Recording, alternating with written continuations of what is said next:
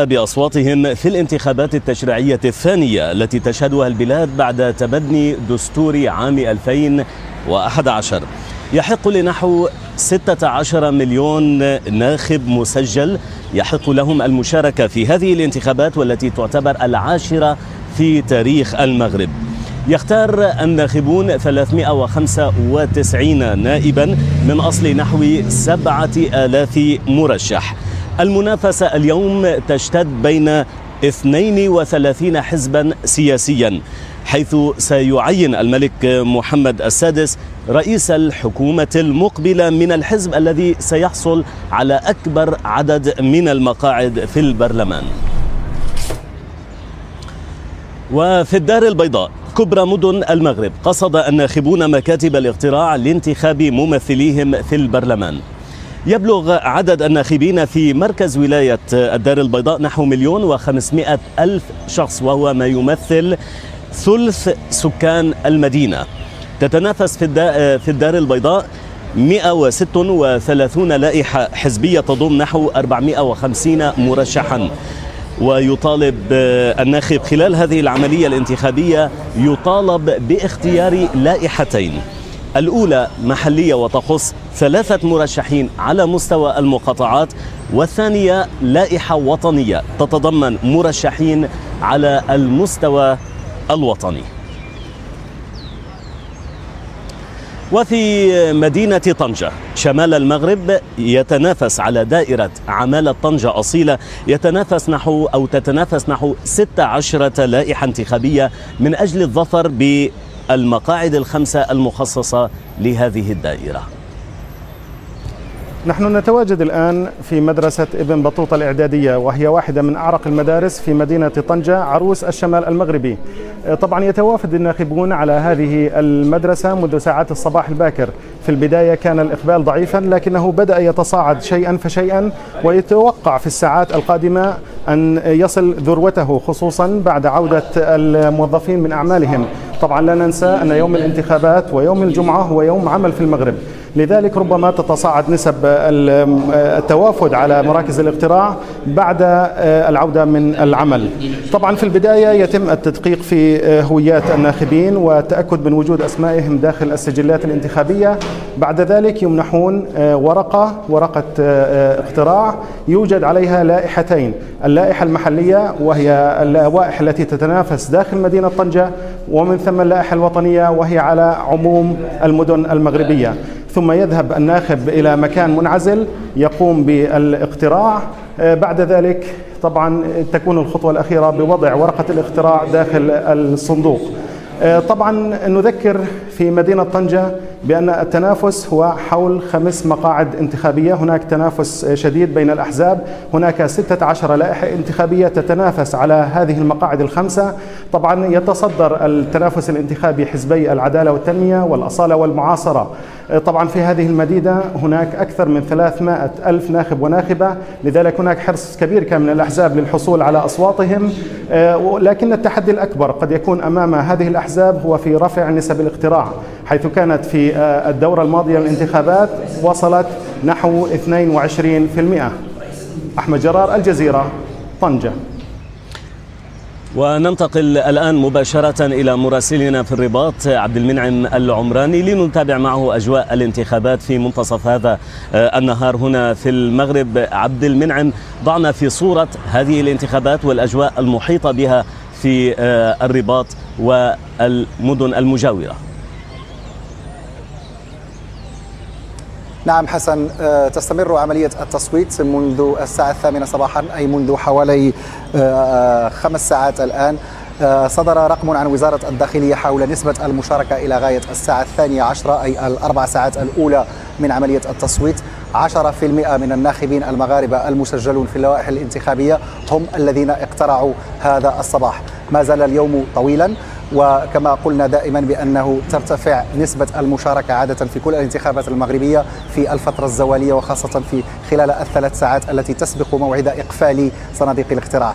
هنا حيث نتواجد نحن في وسط الرباط في ثانوية مولاي يوسف هناك أربعة مكاتب تصويت وهذه هذه المكاتب تتبع دائرة الرباط حسان. دائرتان في الرباط الرباط حسان والرباط شلة. 36 لائحة تتنافس على سبعة مقاعد أربعة مقاعد في هذه الدائرة دائرة الرباط حسان.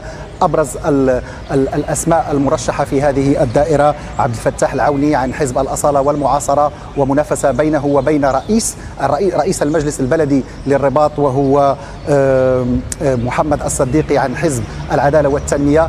وأيضا هناك مرشح اخر عن بقية الأحزاب الأحزاب المغربية الأخرى التي تتنافس في هذه الدائرة. وهي دائرة دائرة رمزية نظرا لتاريخ المدينة كعاصمة للمغرب ولتاريخ هذا الجزء من هذه المدينة التابع الذي يسمى حي المحيط آه، بالنظر إلى أنه الحي الذي كان معقلا للمقاومة المغربية وأيضا معقلا لعدد من الأحزاب التي هيمنت على المشهد السياسي المغربي في آه، السنوات الماضية.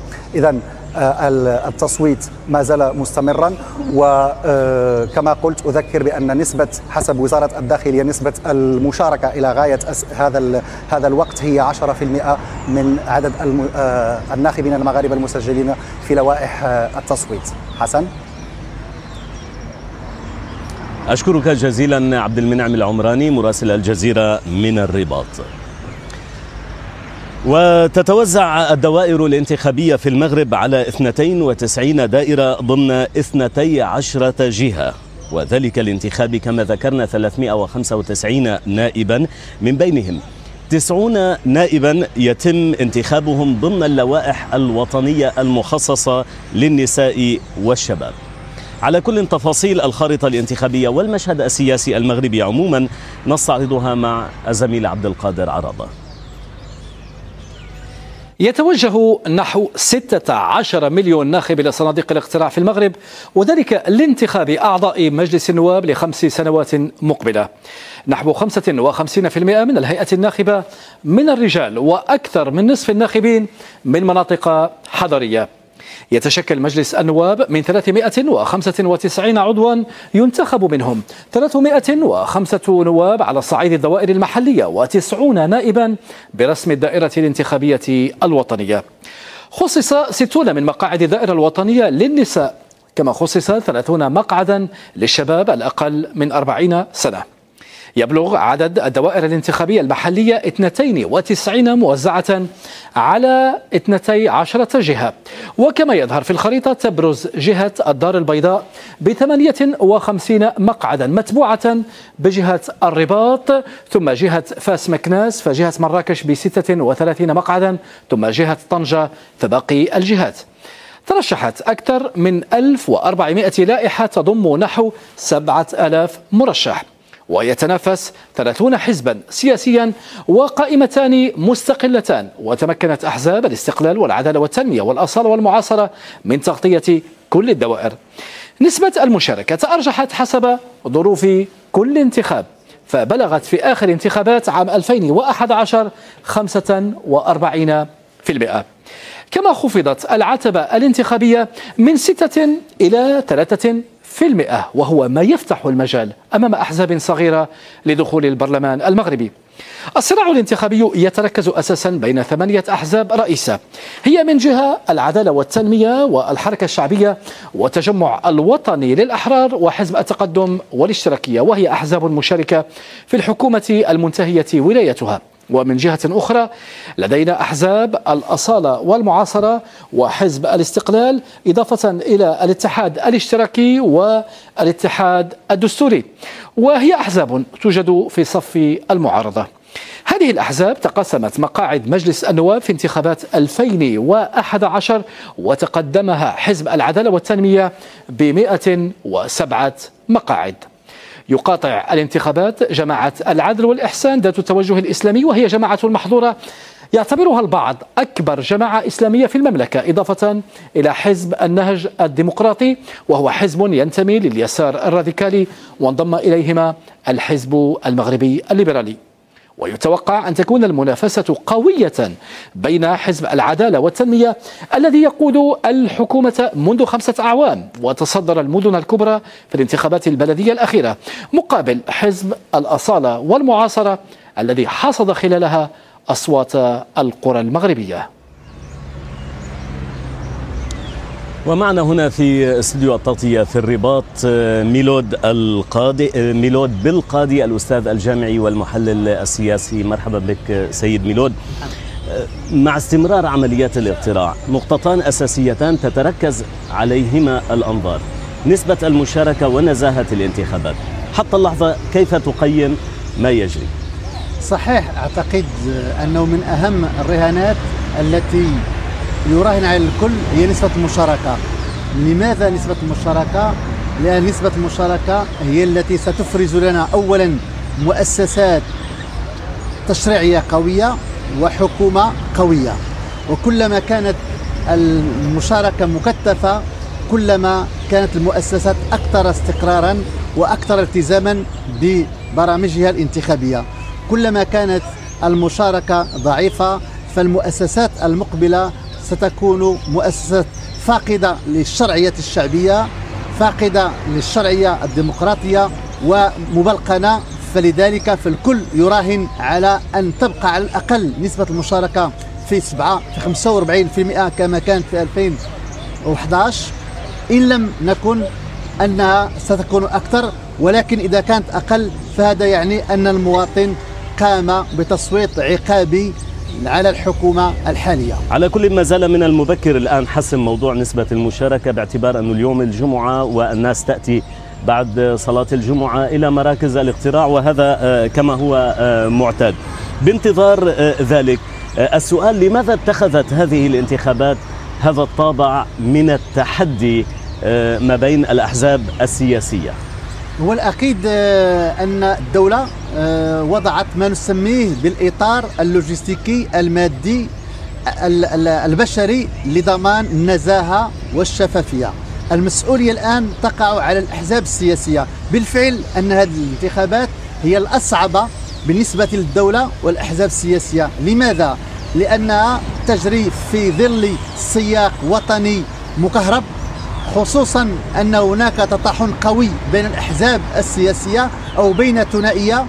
كل واحد منها يربط مستقبله السياسي بالآخر. فالبام أصبح قوة حاضرة في المشهد الحزبي وبقاء الياس العماري في في الحزب أو ضمان مستقبله السياسي يرتبط بمدى قدرته على احتلال المرتبة الأولى. نفس الشيء بالنسبة للأمين العام لحزب العدالة والتنمية السيد عبد الإله بالكيران الذي قال إذا لم أفوز بالمرتبة الأولى فسأغادر السياسة. إذا نحن أمام مشروعين سياسيين كل منهما يستمر وجوده على الآخر.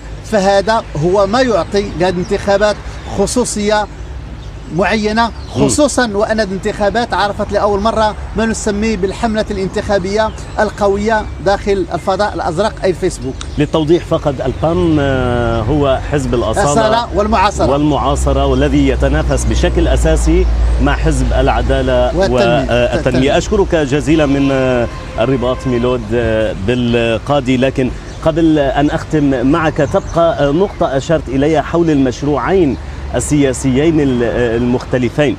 آه، هل المشروعين آه، هل المشروعان هذان يرتبطان بهوية المغرب المستقبلية؟ اولا الدستور المغربي واضح جدا. هو حدد هوية المغرب هو الإسلام ثم التعددية ثم الانفتاح على القيم الكونية في بعدها الحقوقي. وبالتالي فالصراع الآن قائم ليس صراع حول الهوية بل صراع حول من يتموقع في المشهد السياسي خصوصا وأن حزب الأصالة والمعاصرة منذ نشأته أعلن أنه هو البديل الموضوعي لما يسمى بالحزب العدالة والتنمية الذي نعته بالحزب الإسلامي والمحافظ. نفس الشيء بالنسبة لحزب العدالة والتنمية فهو يريد أن يثبت شرعيته في هذه الانتخابات لأؤكد بأن الشعب المغربي ما زال يثق في هذا الشعب وأن حزب العدالة والتنمية قادر أن أن يعود إلى الحكم رغم كل الصراعات والمناورات التي تحاط بهذا الحزب. أشكرك جزيلا ميلود بالقاضي الأستاذ الجامعي والمحلل السياسي. مشاهدينا إلى هنا تنتهي هذه آه، النافذة الخاصة بتغطية الانتخابات المغربية. قدمنا قدمناها لكم من الرباط. سيكون لنا موعد آخر.